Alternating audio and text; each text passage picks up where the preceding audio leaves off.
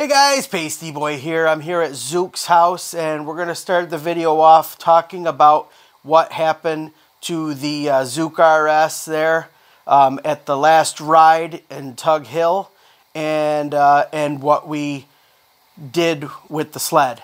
So let's point the camera at Zuke and he'll explain and I'll ask him some questions. All right, what's happening? Paisteboy broke my sled. Yeah. Uh, Paisteboy towed you back to the truck. No, you smashed your sled into mine and broke my motor. Yeah. Uh, it. Uh, So we Hi. thought it was what? We thought, thought it, it was the fuel pump because it was doing some weird stuff. Every once in a great while, you'd be riding and it would go "Eh, eh," like a little hiccup, Right. but it always ran okay. Sometimes I don't know, it would stay under 8,000 RPMs, then it would kick up, and just was weird. So I was thinking it was the fuel pump, and then we were riding, and we were not even four miles in, it uh, just and then just shut right down. Right. So turned over, everything, pulled a wire. I didn't want to pull the plugs on there because you got to re-index them and stuff. Right. It had spark and everything. And then I took it home. I ohmed out the fuel pump, and it seemed really weird because I forgot. I, I read what it was supposed to be, but it wasn't that. So I got another uh, fuel pump from Parker, and it read the correct ohms. So I put that in, but the other one, it looked like it was pushing fuel, but I'm thinking maybe not hard enough to open up the injectors. So I got that other pump, put it in, and it started but ran like dog crap. So I pulled the plug, perfect, spark everything, pulled the other plug, spark, check compression, and it said it had like 90. And I'm like, hmm. I bought this compression tester from a freaking crackhead for like $10. So I said, you know what? Call Pasty. I go and grab his, come over. It's got 135. I'm like, okay, that's cool. So I go to check the other side, and it's got like 10. Now, which side is that? That had The opposite of the clutch. Okay. So non PTO side. So the right side. Okay. Um, What do they call it? The mag side? I think so, yeah, because that's where it is. Um, So one cylinder, it doesn't have compression. Yep. So I pulled the head, and it scored and cracked the cylinder. Oh boy. And I don't know why, because I mean, it had oil. I mean, I took care of the sled was I know, great you for actually three put oil in it. I know. You know? The sled was great for three seasons, but Right. it just gave in, and that wasn't even the original motor. That motor was put in like I don't know, like three thousand miles ago, because that thing had a recall or something with one of the cylinders. So instead of fixing it, they actually put another motor in it. yeah. Well, How many years ago was that? Just a few years ago. Okay. The guy You know what? If you go back and look at the uh, reveal video for when you got that sled, I'll put a link uh, at the end of the video or maybe a card up here above um, or here, wherever it goes. Uh, It'll be we- here somewhere. Yeah, Gary mentioned it, I think, in that video that the that that motor was Yeah, and was I knew, you know, a handful of years back. Yeah, because he bought it and said, "Hey, you want this one?" I'm like, "Hell yeah!" Right. So Gary but- finds the deals. Yeah, yeah. Well, he also found another deal. Right. So, so how we, we fixed it? Right? Should we show him? Yeah, we fixed it. We put another motor in it. All right. So I changed the seat. I, cha- I changed a whole bunch of stuff, so it'll Right. look a little different. Right. Little update. Yeah. upgrade. Bam. What up, bitch? So, what did what'd you get here? 18 Blizzard, actually, just like yours, just a couple Wow, years. my old one, the one yeah, that Dennis like, yeah, has now. like your old one. So this is two years newer than my Blizzard was. I bought mine new. It, it was a 2016. This is a 2018 Blizzard 600 with what 5,500 miles. Yeah. Okay. Yep. So it was a one owner or two owner. Two. He bought it from a dealer two years ago, um, Okay. and he put like he said two or three hundred miles on it. That was it. Okay. So, So, he didn't do a lot of riding, and he was No. moving out of state or something. Yeah, he was moving to Florida. Okay. He had a twenty or twenty-two maybe. I think it was a 22 and an 18, Okay. and he had already sold the other one because I, I wanted to buy that, that Yeah, one. But exactly. It was either a 20 or 22. I don't remember because I said I know. He goes, yeah, I had another one. I go, where is it? No, I sold it already.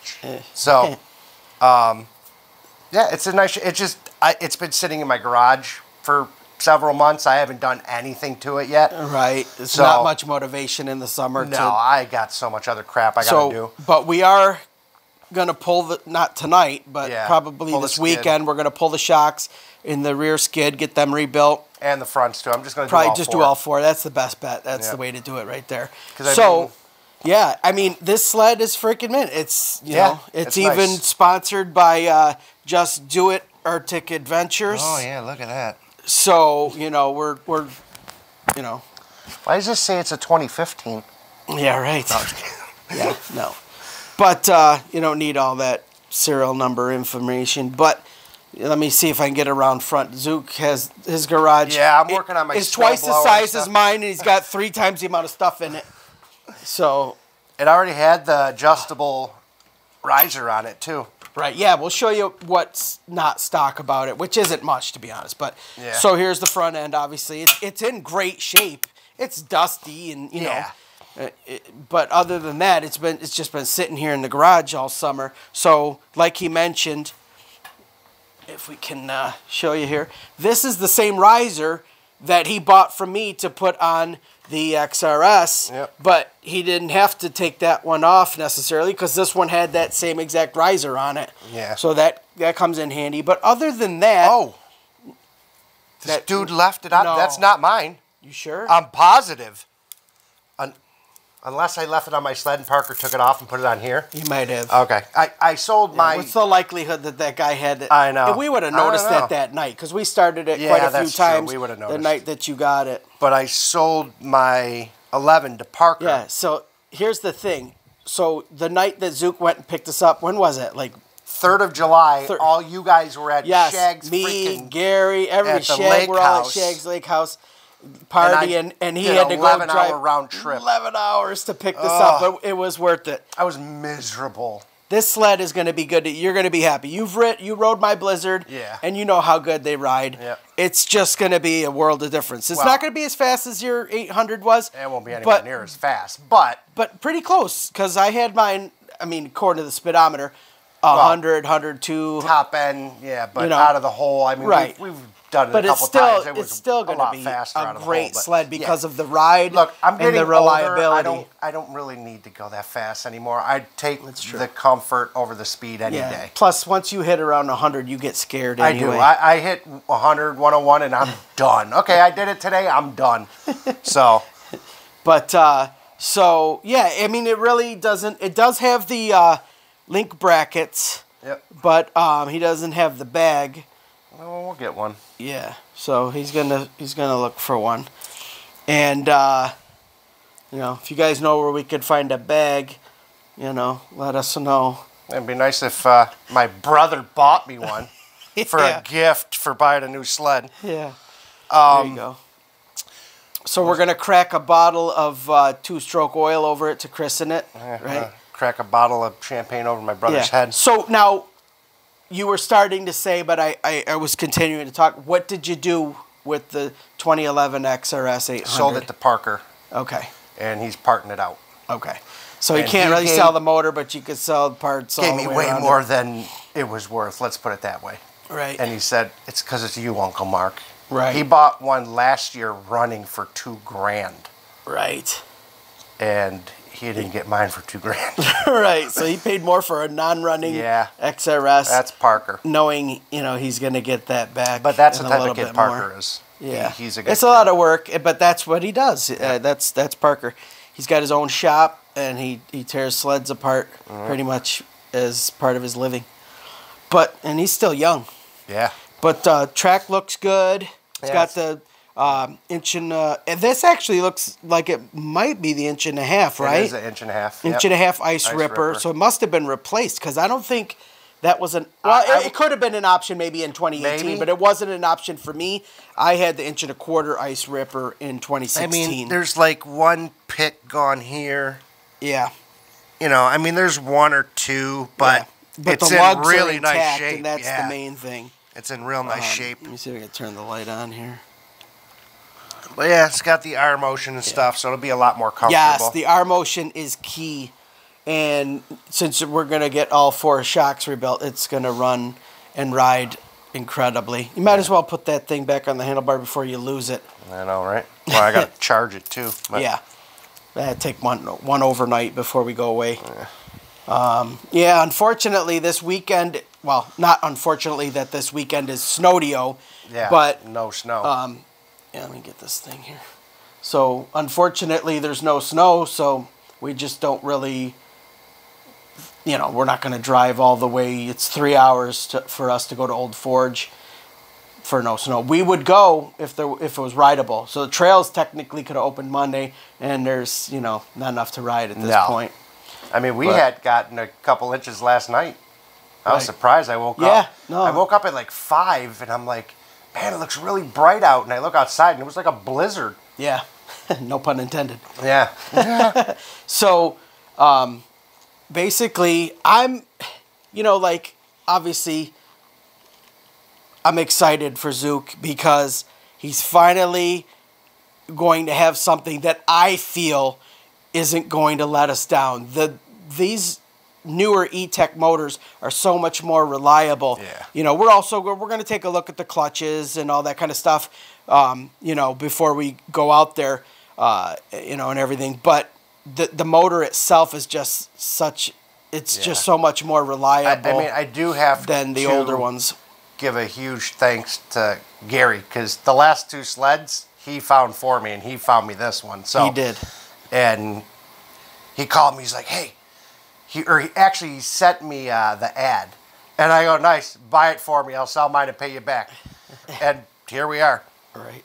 So So there you have it. So Gary found the sled, and you immediately called the guy, asked him a few questions, and, and went, went and out that day. yeah, like I said, we were all at Shag's Lake House Yeah.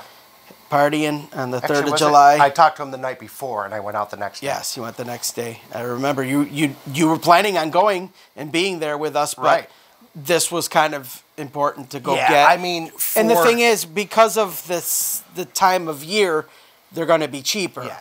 For what we paid for it, there was no reason that I shouldn't skip the party and go buy it. Absolutely. You know? we, we were we were with you in spirit Yeah. because we knew it was going to make it worth Yeah. this winter. I mean, it was it saw it was an 11 hour round trip. It Right. sucked, but All right. it was so worth it. if we hadn't mentioned it yet, with the thing sitting all summer, the battery, Oh, yeah, the kind of battery got kaput. low. But we're gonna We we're gonna start start it real quick so you can hear let it run. see. All right. Nope. No battery. The I'm gonna get battery should this, not uh, happy. Yeah. He's gonna hook a little jumper up to it, and uh, we'll get it started. When he got it, it was fine. The battery Yeah. didn't need to be nothing. It was the battery worked just fine. We I started mean, well, a bunch of times. we got but- it July. Yeah. So August, September, October, November, December. I mean, it's been five months, six Right. months, whatever. Yeah, and still connected to the sled and everything. Yeah. And I, I should have put the freaking tender on it, but I mean, it's been sitting here. You should have really. yeah. Okay. George Jetson's here. Yeah. All right, go for it. Good thing the Battery's still low, but Uh, yeah. lucky they start quick. they do the E-TEC starts, so he didn't need much. If that wasn't an E-TEC, it wouldn't have that wouldn't have been enough juice Yeah. to start it. So there's the mileage, 5511.2.